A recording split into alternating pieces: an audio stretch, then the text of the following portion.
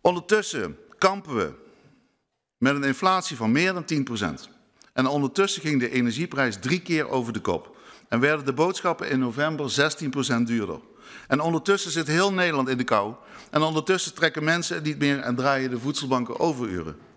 Het is het Nederland van deze minister. Maar haar Nederland, voorzitter, is niet mijn Nederland. Niet het Nederland van de gewone mensen. Niet het Nederland van de PVV. In ons Nederland staat de Nederlander op nummer 1. In ons Nederland wijkt alles, maar dan ook alles, om ervoor te zorgen dat de gewone man of vrouw een warme woning en een goed gevulde koelkast heeft. Dat is ons Nederland en daar knokken wij voor. Dus geen 100 miljard naar klimaat en stikstof. Geen tientallen miljarden naar asiel, Afrika en Brussel. Besteed dat geld aan onze eigen mensen in ons eigen land. Verhoog de energiecompensatie met terugwerkende kracht en verlaag de energiebelasting en zet de BTW op nul voor energie en boodschappen. vainqueur.